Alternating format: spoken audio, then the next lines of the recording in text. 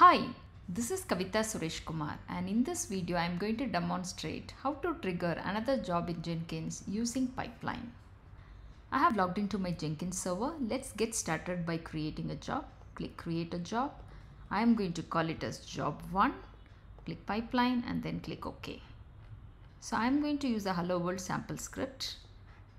Okay and here I have the hello world. I am going to just change it hello world from job 1 I'm going to save this. And I'm going to create another job. So that I'm going to call it as job 2 pipeline then okay and here also I'm going to use the same hello world sample script but I'm going to call it as hello world from job 2 okay I'm going to save this.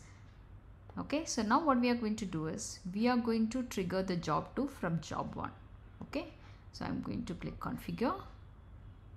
Okay so what I'm going to do is I'm going to use a pipeline syntax.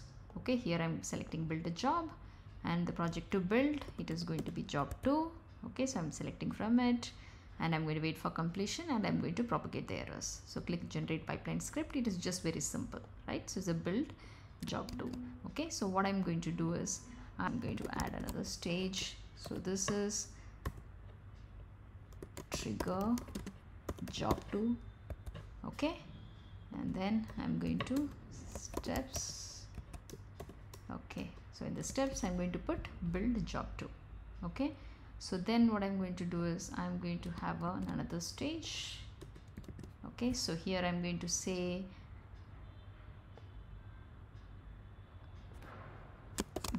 back from job 2 okay so this I would call it as stage 2 and this I would call it as stage 1 okay? All good? I'm going to save this. Okay? So now I'm going to build now. So we could see the job 1 is running. Okay? It is scheduling the project 2 and it is the both the job 2 completed and it is back from job 2 okay? So let's check the job 2 here we could see right? So it has printed hello world from job 2 so now it's all good. Okay so now what i'm going to do is in the job 2 i just wanted to ensure that the job fails. Okay so i'm just going to remove this delete.